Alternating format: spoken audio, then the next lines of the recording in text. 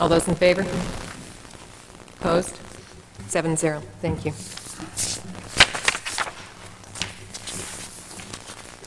Item number 26 is a request to close non-essential town facilities on Friday, July 5th, 1996, in exchange for employees working on Patriots' Day, 1997. Mr. McGovern? Yes, this is similar to something that happened last year when July 4th was on a Tuesday. You authorized us to be closed on Monday, July 3rd. Now July 4th is on a Thursday. This would uh, close non-essential services on Friday, the 5th.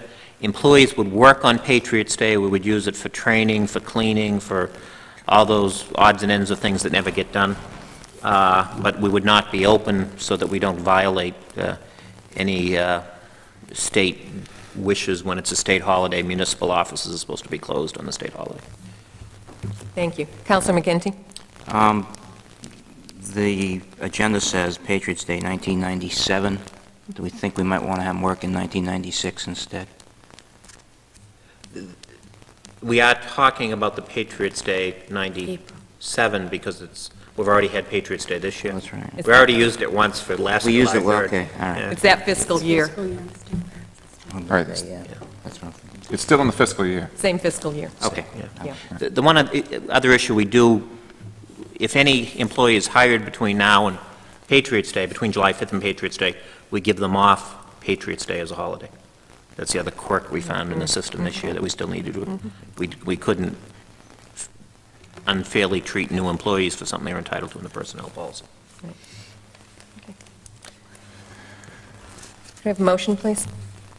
Councilor Reed? Madam Chair, I move that we close the municipal offices for non-essential services on July 5th, and we allow the employees to work on Patriots' Day 1997 in its stead. Thank you. Second. Councilor Jordan? I just got one question. Mike's grinning already because I think he knows what it is. No, but I I can see gotta getting throw it red. out. I gotta throw it out. I thought they all were essential workers. I knew, when I said that, I knew I was going to get five.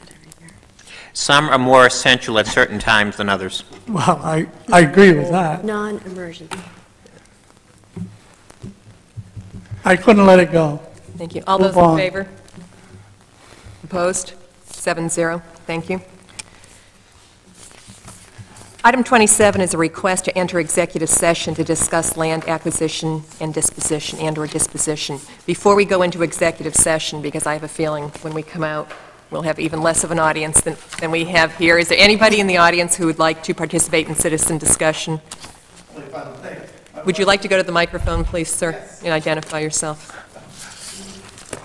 My wife Jane, who works at the, I'm Gary Beckwith uh, on Oakwood Road. My wife Jane, who works at the library, loved the, uh, the Patriots' Day fill-in to work and to get things done.